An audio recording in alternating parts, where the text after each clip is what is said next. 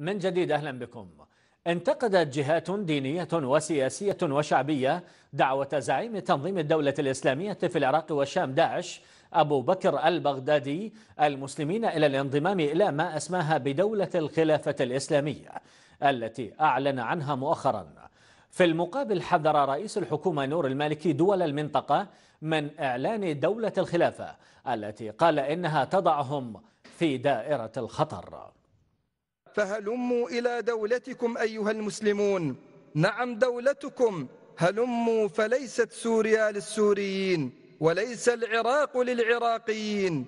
إن الأرض لله يورثها من يشاء من عباده والعاقبة للمتقين. هذا جزء من الرسالة الصوتية التي دعا فيها زعيم تنظيم داعش أبو بكر البغدادي.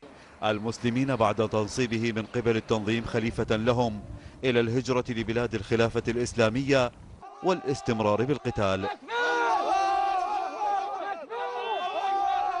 ردود الفعل المنتقدة لهذه الرسالة جاءت متوالية. بدأتها هيئة علماء المسلمين التي يقودها حارث الضاري عن طريق بيان أكد أن البيعة لهذا التنظيم غير ملزمة لأي أحد كونها تعطي للحكومة تأييدا دوليا لملاحقة التنظيم وتعزيز الانقسام بين الفصائل التي قادها. واستولى على مساحات واسعة من الأراضي العراقية. في المقابل وصف رئيس الوزراء العراقي نور المالكي إعلان دولة الخلافة بأنه رسالة لدول المنطقة وضعتها في الدائرة الحمراء. داعش التي تحولت إلى دولة الخلافة اليوم والتي هي رسالة للدول في المنطقة أنكم أصبحتم ضمن الدائرة الحمراء. كانت داعش تتحدث عن دولة العراق والشام اليوم تتحدث عن دولة الخلافة في المنطقة. رسالة البغدادي ودعوته كان لها صدى في الشارع العراقي ولكن ليس وفق ما يتمنى. فهو بالنسبة لهم قد شوه صورة الإسلام بقطع الرؤوس واستباحة حرمات المسلمين. وآخرون فضلوا الانضمام إلى صفوف الجيش ومواجهة داعش بدلا من تلبية دعوة البغدادي. اللي سمى بهيك اسم يكون مسلم شريف. يكون يدعي بالإسلام يكون يعطي فتوى للإسلام الصحيحة مو يعطي فتوى تكفير وذبح وقتل. نتطوع بصفوف الجيش العراقي لمواجهة داعش مو يا داعش.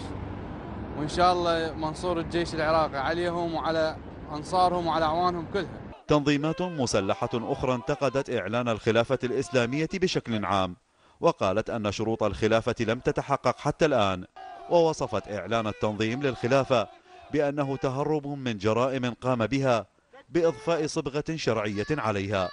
ويرى مراقبون في دعوة البغدادي بأنها تأتي في إطار الحرب الإعلامية مستغلا بذلك تقدم المسلحين وسيطرتهم على عدد من مدن العراق.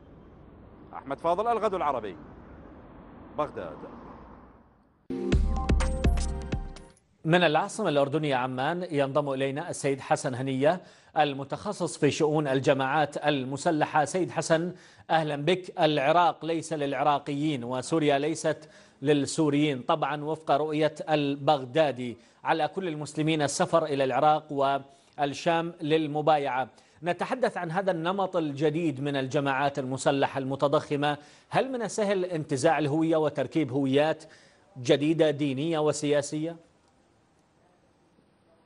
أعتقد بأن البغدادي يعلم ماذا يفعل جيدا. هو يتلاعب لا شك بالهويات لأن نعلم أن هذا التنظيم هو الأساس تنظيم قائم على أساس هوياتي. بمعنى إذا كان تنظيم القاعدة وهو كان فرعا عن هذا التنظيم قبل أن يتمرد عليه في التاسع من إبر نيسان الماضي ويعلن دولة الإسلام في العراق والشام ثم في بداية رمضان يعلن عن الدولة الإسلامية وكفى بمعنى خلافة هو يداعب كما تعلم المخيال الاجتماعي للمنطقة السنية التي كانت هي تقوم على وحدة واحدة جغرافية سياسية باسم منظومة الخلافة قبل أن يتم إنهاء هذه الدولة عام 1924 وبالتالي التنظيم يريد أن يخاطب هذا المخيال وتحديدا يخاطب الجماعات الإسلامية السنية وأكثر وبشكل أكثر تحديدا يخاطب تنظيم القاعدة الذي هو يتشارك معه في الأيديولوجيا السلفية الجهادية ولكن مع اختلافات جوهرية. نعلم أن تنظيم القاعدة كان يخوض حرب ليست تمكين بمعنى يخوض حرب نكاية شوكة نكاية وكفى بمعنى أنه دفع الصائل فقط ومواجهة الهيمنة الغربية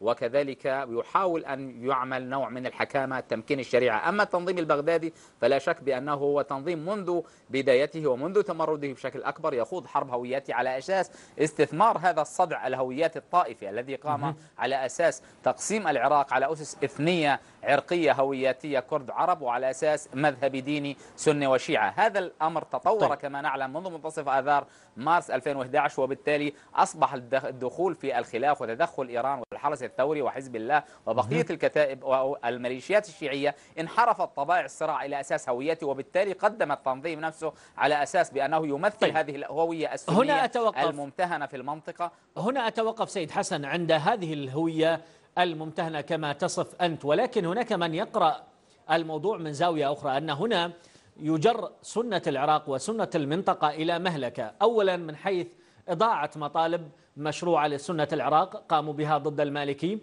ومن باب آخر لا قبل لهم ولا طاقة بمقاتلة هذا التنظيم. والخلاص منه في مرحلة لاحقة بحكم أن المتغيرات متغيرات العوام 2006 وما تلاها تغيرت. لا وجود للأمريكان لا قيام للصحوات ولا دعم حكومي ولا أمريكا ولا بترايوس بالتأكيد أعتقد هذا هو ما جعل هذا الحلف ممكنا. تعلم جميع تماما بأنه عندما كان عندما بدأ التنظيم وأعلن في ذلك الوقت في عام 2006 عندما قتل أبو مصعب الزرقاوي في يونيو حزيران 2006 ثم تولى أبو عمر البغدادي حامد الزاوي وأبو حمزة المهاجر قيادة ما سمي في ذلك الوقت أمير الحرب أو آه، وهو المسؤول العسكري لتنظيم القاعدة في ذلك في ذلك الأوان. كانت هناك الدولة الإسلامية في العراق ولكن شاهدنا كيف رفضها في ذلك الوقت المجتمع السني وتمت جميع الفصائل التي كانت في إطار مقاومة الاحتلال بدءا من الجيش الإسلامي كتائب ثورة العشرين وصولا إلى رجال الطريقة الطريقة النقشبندية وأنصار الإسلام فضلا عن جيش الفاتحين والمجاهدين وعشرات الفصائل فضلا الآن عن تشكل كما تعلم المكون الآخر وهو المجلس العسكري الذي تكون من القيادات البعثية وكذلك في الجيش السابق المنحل بين فترة حكم صدام حسين ثم الآن ثورة أو مسلحي ثوار العشائر. جميع هذه الأطراف كانت تقاتل هذا التنظيم آنذاك لكن كما ذكرت التحولات عميقة وجذرية منذ ذلك الوقت. الولايات المتحدة الأمريكية انسحبت من العراق في نهاية 2011 ثم بعد ذلك عمد المالكي إلى ترسيخ سلطوية شخصية وقام على ترسيخ ما يسمى الصدع الطائفي الهوياتي وبالتالي اختزل كل الم- المناصب السيادية بدءا من رئاسة الوزراء وصولا إلى وزارة الدفاع فالداخلية مكافحة الإرهاب وجميع الم- مجلس الأمن ال- ال- القومي ما يسمى. وبالتالي شاهدنا كيف استثمر حتى الآليات القانونية بما فيها اجتثاث البعث في ولكن- ولكن سيد حسن، وصولا إلى المساءلة أنت والعدالة وكذلك قانون الإرهاب أنت الذي بهذا تعرقن التنظيم والتنظيم يطرح نفسه بشكل أممي. دعنا نتحدث في الخارطة الأممية لهذا التنظيم. هو يتحدث في الوقت الراهن ربما حدوده العراق لكن هو يتوسع وهذا ما يحذر منه المالكي. من تتوقع أن يكون في دائرة الاستهداف القادمة على اعتبار الصبغة الإسلامية للتنظيم؟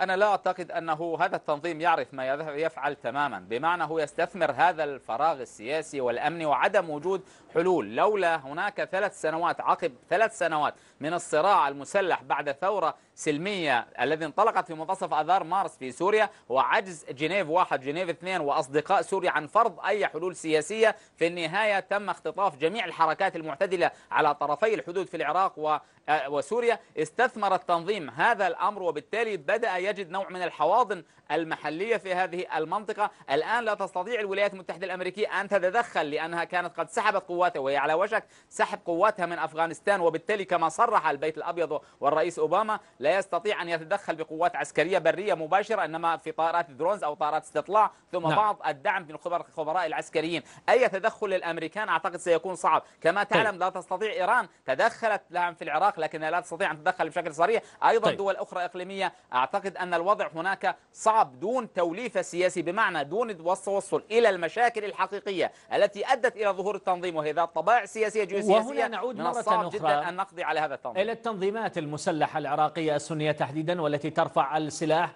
والتي يبدو أنها في حي صبيس مما يجري. مثلا نتحدث عن هيئة علماء المسلمين بقيادة الضاري.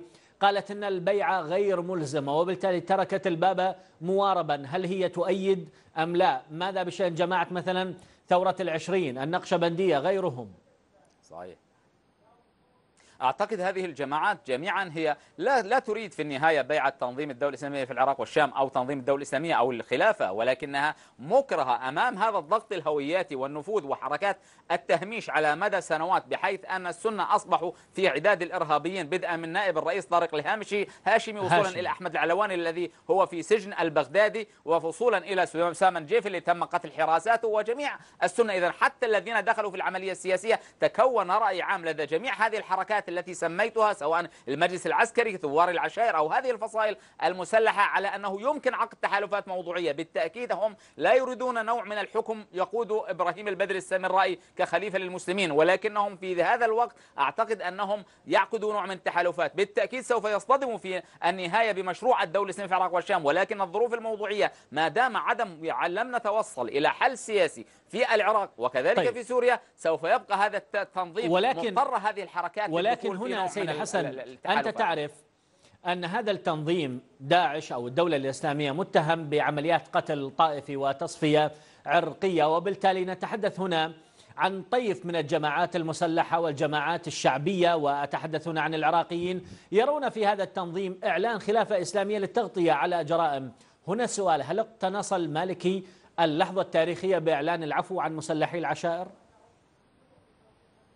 لا أعتقد أنت تعلم ك- معظم حلفاء المالكي عندما كانت إبان فترة التدفق استراتيجية بتروس 2006 2008 كانت هناك مجالس الإسناد والصحوات هي التي قامت في المثلث السني بمحاربة تنظيم الدولة الإسلامية آنذاك. ولكن ما حدث في المالكي أنه عبر عب- بعد خروج القوات الأمريكية 2000 لم يستدخل هذه الصحوات بل عمد إلى اعتقال معظم قادتها واتهامهم بالإرهاب. هم أنفسهم بقضايا حسب قانون الإرهاب مادة أربع كما تسمى في العراق أربعة سنة بمعنى أنه يستهدف من هذه السنة. هذه كثير حدثت هجرة معاكسة شاهدت الآن شيخ عشائر ال- الأنبار وهو الشيخ علي الحاتم الآن بعد أن كان يقاتل. تنظيم الدولة الإسلامية الآن هو منضوي في إطار هذه الجبهة. هو صحيح لا, لا يعترف بهم لكنه في النهاية موضوعيا أصبح في إطار هذا. هذا ولكنه يسكن أربيل وبالتالي وبالتالي يقولون هناك بعض المتهمين يقولون أن الشيخ علي حاتم يسكن أربيل وبالتالي لا علاقة له بالثورة لأن هناك أزمة قيادة ثورة بلا رأس.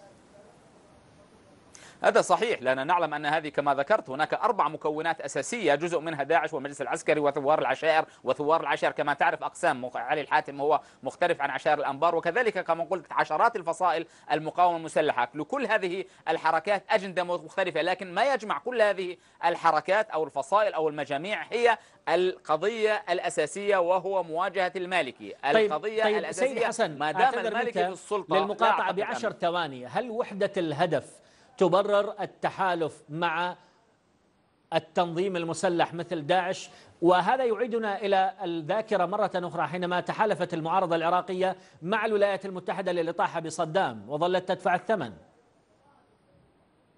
أعتقد هذا ما ما ما سيح. لكن في هذه المرة مع عدم إمكانية مع عدم وجود القوات الأمريكية مع وجود صدع طائفي كبير منطلق من العراق وصولا إلى سوريا ولبنان أعتقد أن هذا الصراع الهوياتي والصدع ما لم يتوصل إلى حلول سياسية مع انفراد الأكراد في إقليم أنا أشكرك. بالاستقلال أعتقد أن وجود هذه الحركات سوف يبقى في تحالف موضوعي ما بقيت هذه الأسباب الموضوعية. من عمان السيد حسن هنية المتخصص في شؤون الجماعات المسلحة. شكرا جزيلا لك. إذا الملفات يتواصل من الغد العربي في لندن وفيه بعد الفاصل.